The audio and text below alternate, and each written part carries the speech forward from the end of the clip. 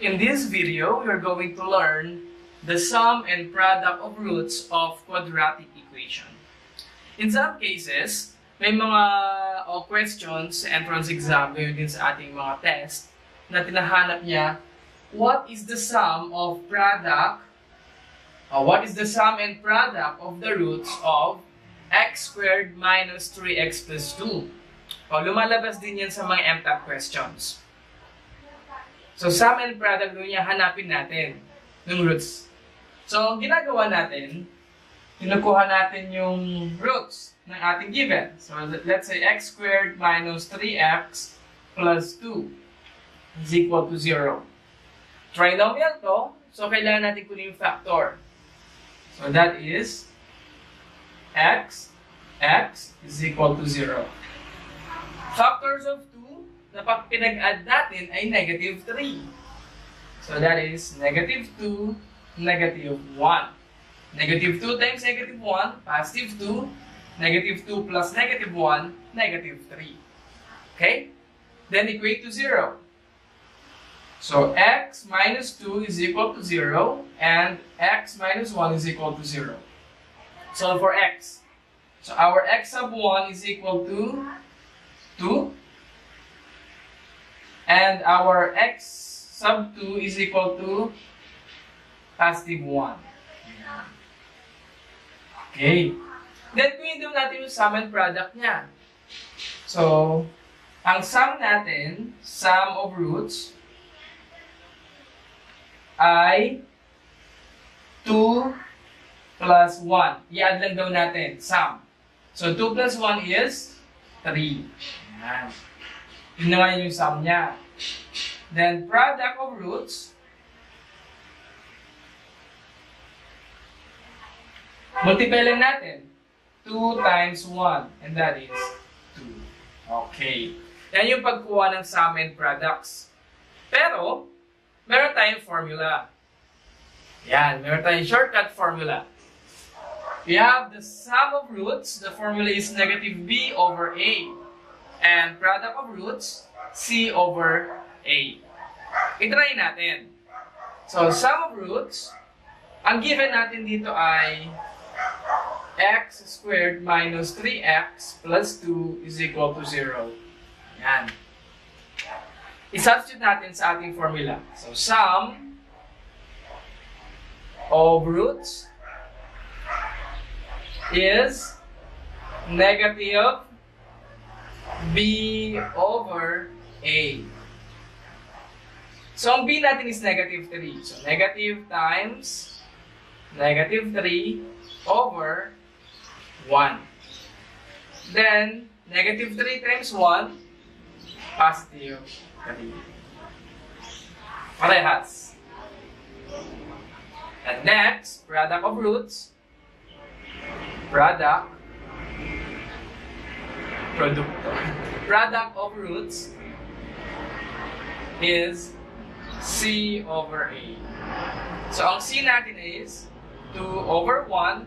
Simplifying, that is 2. Parehas. So, ayan yung shortcut natin sa sum and product of roots. May case na din naman na Gets ba ito? May case din naman na roots yung binibigay. Then, hinahanap natin yung equation. Let's say, yung given na ito.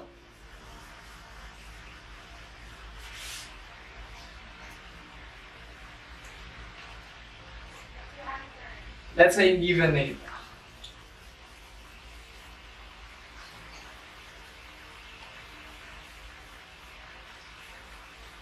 Ah. Medyo mahirap na mag-erase. Okay. Given the roots,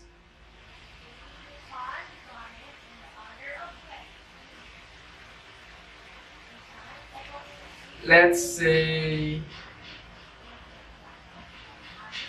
5, then 7, find the equation Uh, find the quadratic equation.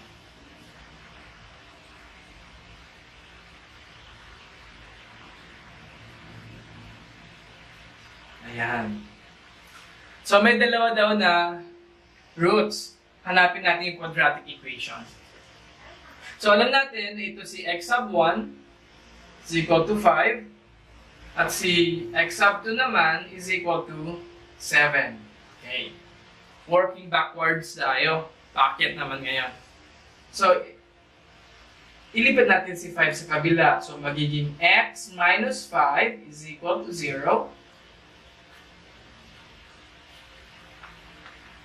Tama? Then, x minus 7 is equal to 0. Ayan. Bracket siya. Then ito, alam natin na yan ay factor niya. So, x minus 5 times x minus 7 is equal to 0. Okay. Ito na siya ngayon. Inequate natin sa 0. And then, for method natin. So, x times x, x squared. x times negative 7, negative 7x. Then, negative 5 times x, negative 5x. Then, negative 5 times negative 7, positive 35 is equal to 0. And then, combine like terms. So, x squared minus 12x plus 35 is equal to 0. Ito na ngayon yung ating quadratic formula. Kuha? Ayan, yan yung ating quadratic formula. So, ganun. Paano naman natin i-apply itong si sum and product of roots? Ayan. So, since sum and product siya, ang sum natin, that is x sub 1 plus x sub 2. Tapos, ang product naman natin ay x sub 1 times x sub 2. Okay? Sum, pinag-add lang, product, multiply lang. So, check natin muna, given yung product. So, ang product natin ay, ah, ang sum natin ay, add natin. So, 5 plus 7. Sum tayo. 5 plus 7, that is 12. Then, yung product natin, 5 times 7 ay 35. Para makuha yung equation, kung ito yung gusto natin gamitin, so x squared minus the sum of roots, then write x plus product of roots is equal to 0. So, x squared minus, ang sum natin ay 12. Write 12, copy x, plus, product of roots is 35. 35 is equal to 0. So, yan yung process ngayon. Parehas. Yan. So, take note na minus ito ha. Hindi plus, hindi lang basta kopyahin. Nag-multiply ng negative. So, yan ang application ng sum and product of roots in our quadratic equation. So, ito yung mga shortcut. Uh, alam ko lumalabas to sa mga entr entrance tests for senior high school and college. Huwag niyong kakalimutan. Thank you for watching Senior Pablo TV and don't forget to subscribe.